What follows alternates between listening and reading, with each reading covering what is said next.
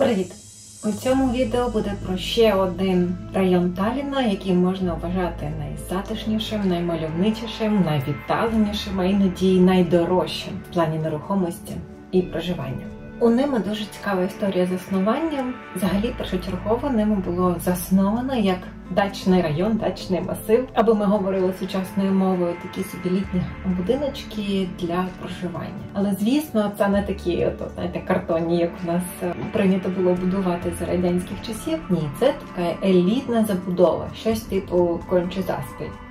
Засновником ними був Ніколай фон Гелеген, балтійський німець, дуже освічений. Він вивчав дуже багато всього, вчився і, і тут в Естонії, і в Німеччині. І був неймовірно начитаною і знаючою людиною. Одним з його захоплень були архітектура і астрономія. І от, власне, саме він спроектував замок, який зараз залишився ще в ними і обсерваторію. Ну і також е, будівлі всілякі навколо. І навколо цього замку почало облаштовуватися поселення. Люди почали також будувати свої будиночки, і так згодом е, поселення розрослося, і потім приїдалися до Таліна, і зараз це частина Таліна. Це сталося всього за якихось там 100 років. Замок зараз у приватній власності його залюбки здають під всілякі заходи. Можна влаштувати там весілля, можна корпоратив, або просто якийсь день народження, чи просто-просто вечірка. Наприклад, Хеллоуін дуже атмосферненько було. Залишилася також обсерваторія в дуже гарному стані, і вона зараз належить Талінському технічному університету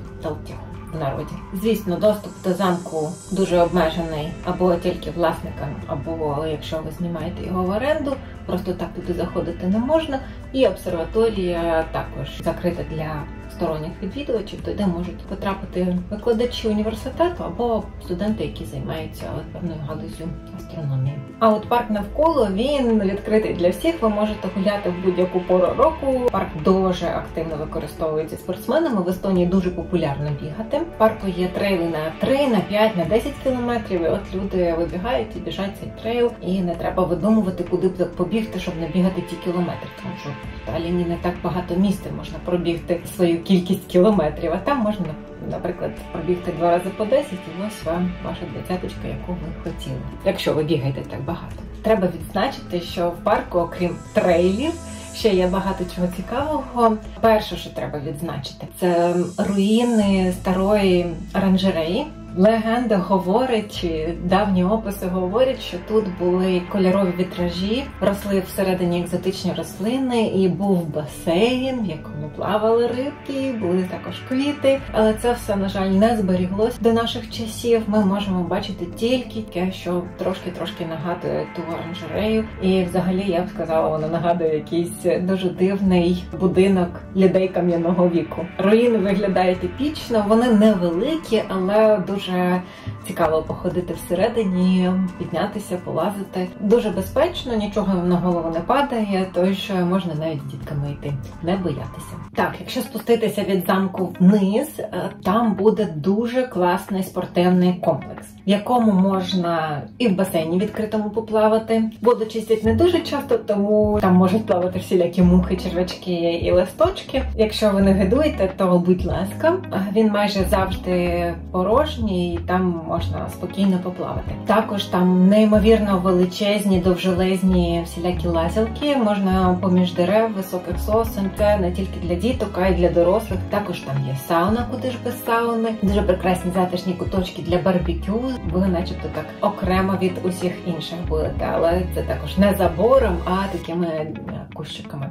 Тобто ви серед природи. Взимку цей спортивний комплекс дає в оренду лижі за дуже дуже демократичні ціни. І по всьому парку по цих трейлах розкатуються лижні траси. Тобто можна покататися, навіть якщо ви не вмієте взагалі, або навіть якщо ви дуже гарно вмієте. Для вас будуть такі величезні гори, з яких можна спускатися. Ну добре, може не величезні, але в моєму розумінні то величезні гори. А от якщо вам і цього замало, якщо вже ми говоримо про лижі, то трохи далі в парку є два величезні трампліни. Один дуже великий, другий такий великий, але для діток. Хоча можна там і дорослим, звісно, кататися. на бордах і на лижах. Перший, який поменше використовується лижною школою, і тітки там тренуються. Тож, якщо ви хочете на ньому теж покататися, перевіряйте на сайті актуальний час, коли там дітки тренуються, щоб з ними не пересікатися. І є великий ось такий трамплін, здоровенний. Мені особисто на нього навіть страшно дивитися. Хоча я бачила взимку люди, які катаються, і на вихідних зауважте, що там досить людяно взимку. Ну і щоб вже завершити розмови про зимові розваги, по всьому парку можна кататися на санчатах взимку. Всілякі горки, маленькі, побільше, прямо на дорогах можна кататися. Я маю на увазі на цих паркових доріжках окрім розваг в парку, тут досить дорога нерухомість. І жити, власне, тут е, прекрасно, тільки якщо вам не потрібно їздити в місто кожен день, або у вас є машина, і ви готові витрачати. Хвилин 40, щоб добиратися до місця роботи, тому що воно віддалене і звідси доріг не так багато. Тут затори майже кожен ранок. Це таке єдине місце, можна сказати, з якого тяжко виїхати в Таліні. Думаю, що власників оцих особняків по 2-3 мільйони це влаштовує. Вони цим не переймаються. Вони поступово собі якось там виїжджають чи приїжджають. Можливо, вони не їдуть всі на 9. Про ці особняки можна зазначити окрему історію, що не завжди вони тут були. Це новобудови, можна сказати. Їм максимум по 50-40 років, тому що вони власне по побудовані на місцях, де були такі двоповерхові або одноповерхові, але довгі дерев'яні будиночки, в яких було по декілька квартир аля кімнат, і в кожній кімнаті могла жити родина. Знаєте, таке комунальна хатина. Квартирки були дуже маленькі, опалення дровами, життя було не солодке, вбиральня на дворі, каналізації немає. Тобто воду теж приносити. Ну десь було, десь не було. В більшості не було.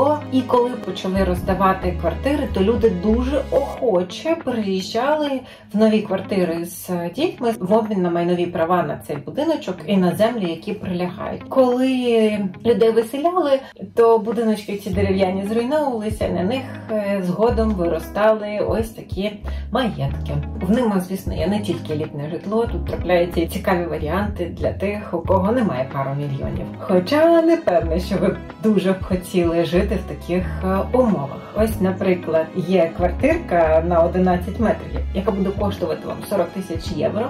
Чесно кажучи, я не знаю, як своїм тілом і за всіма своїми лахами можна вміститися в 11 квадратних метрів. Ну, у когось це виходить, очевидно, якщо ця квартира була у власності, хтось її продає. Можливо, це якимсь студентам здавати в оренду, ну бо самому жити там не знаю як. Або можна придбати 30 метр частини будинку, у якій буде всього 15 хвилинах е, ходьби від е, замку і парк Бухлена. В 31 метр вже поміститься трошки більше більше, можливо, можна якось е, скромненько розміститися вдвох. Хоча тут треба буде топити дровами або електрикою, що теж не з самих дешевих варіантів. Тож економічним таке проживання назвати не можна. Не хочу, щоб у вас складалося враження, що ніби тут в ними або мільйонери, або такі непридатні для життя квартири і помешкання. Ні, ні, тут є і нормальні квартири середнього класу. Можна знайти щось за 1130, таку невеличку квартиру двокімнатну, тобто одна спальня, вітальня, кухня або кухня і вітальня разом. Краще мати, звісно, 150-200.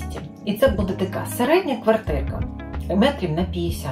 Якщо, звісно, ви хочете будинок, то ну я не бачила дешевше, ніж 300-400 тисяч невеличкий будиночок. Але завжди можна шукати і щось точно знайдете.